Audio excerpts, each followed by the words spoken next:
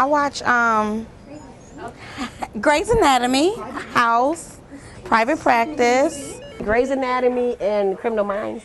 I do watch Grey's Anatomy. I think it's a little more dramatic, a little more drama than we have here at Henry Ford. Um, I also used to like to watch ER. Um, I don't really watch a lot of TV, so I don't spend much time in front of it. Um, when I do watch TV, I'll watch Jon Stewart or Stephen Colbert or the news.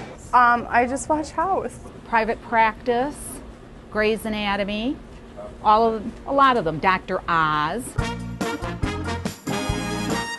Because I like it. I like the characters.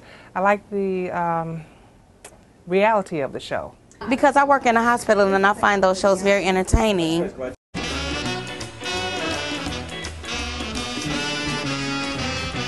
They are nothing like what goes on here in the hospital. We never treat our patients like that. Service excellence is like top here.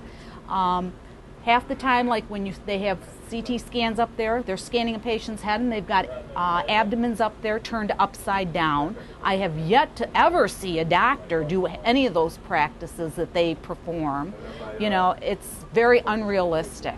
I mean, sometimes how they put the leads on the patients wrong. They put the nasal cannula upside down sometimes. Um, when they're doing CPR, that is, sometimes that's not really how it goes. I watch House more than I watch anything else. The doctors don't go in and go do those tests. They send them to X-ray. They send them to the lab. They don't do those things. You know, when a patient should have been intubated and um, they did everything but intubate the patient. You know, you would have intubated them first before anything else. They were like way past that. And the patient was just on regular oxygen and, and not responding and, you know. The house is very mean. It's very mean. So, no, we do not treat our patients like that. Henry Ford is treated much better. Yeah. And, and We pride ourselves on our patient care.